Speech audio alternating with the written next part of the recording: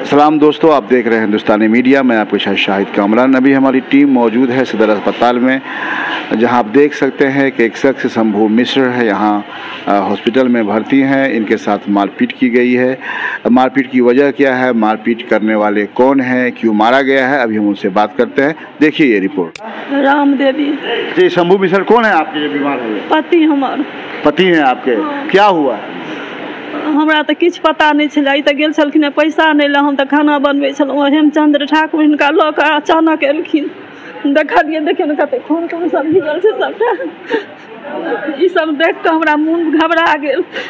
तहन फेर अगल बगल लोकके कहलियै दू आदमीसँ लऽ कऽ टेंपू कऽ कऽ पंडौल एलहुँ पंडौलसँ रेफर मधुबनी केलक रातिसँ मधुबनीमे छी। क्या मारपीट किया सर फटा हुआ ना? हाँ सिर फाटि गेल छनि सात गो टाका भेल छनि। हिनका किछु पता नहि ने झगड़ा ने दान किछु नहि हमरा सबके किछु नहि ओकरासँ।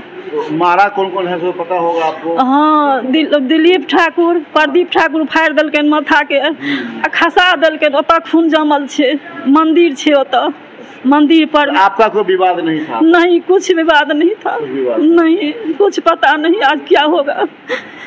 कै रोज से हैं आप लोग? कल से? हाँ रात से। रात से। हाँ यहाँ- क्या बजे दिन का मामला है? नहीं रात में आठ बजे में हुए ने मारा है। आठ बजे आठ बजे रात में मारा है। आठ रात का मामला। हाँ। ठीक है चलिए। क्या नाम है आपका? शंभू मिश्रा। घर कहाँ है? सिसवा। थाना आपका? पंडोल। क्या है? क्यों हॉस्पिटल में क्यों भर्ती हैं आप? क्या हुआ? वो हमको जो इनके रिश्तेदारी के घूरन ठाकुर के यहाँ से हमको रिश्तेदारी था, उनके यहाँ गए थे पैसा लाने के लिए। तो पैसा लेके आ रहे थे दस हज़ार रुपया। इनके, इन, इनसे आ, उनको दोनों को कोई लड़ाई था क्या कुछ मामला कुछ था? झगड़ा झंझट का। वो हम लोग को बस उससे घर से निकले। कि गेट के पास जो है सो चार आदमी, तीन आदमी लाठी लेके, एक आदमी दिलीप ठाकुर प्रदीप ठाकुर फरसा लेके, दिलीप ठाकुर लाठी और बीना देवी लाठी आ बटोही ठाकुर लाठी सब लेके पूरा शरीर को धुना, धुनने लगा। और जब हम गिर गए तो फरसा से वो प्रदीप ठाकुर मार दिया, कपार पर, कपार फाट गया।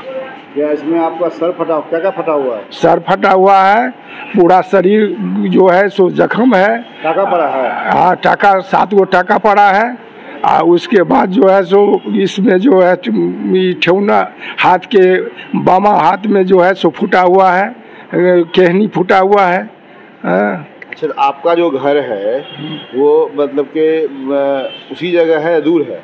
उससे करीब दस लगा हट के। इन लोगों का झगड़ा कैसा है? दोनों का झगड़ा? इन, इन लोगों का ज़मीन का विवाद है। हाँ उससे तो हमको लेना देना नहीं है। हम इनके यहाँ गए ये बोला जो हमको आइए घड़े घरे पर ले लेना चाहिए ले किनके यहाँ गए थे? घूरन ठाकुर के तो घूरन ठाकुर रिश्तेदार है आपके? आ, रिश्तेदार नहीं है माने सामाजिक नाता में। सामाजिक नाता रहता तो फिर क्या थाना को खबर नहीं किया? थाना गए जब हमारा शरीर में पूरा लथपथ था।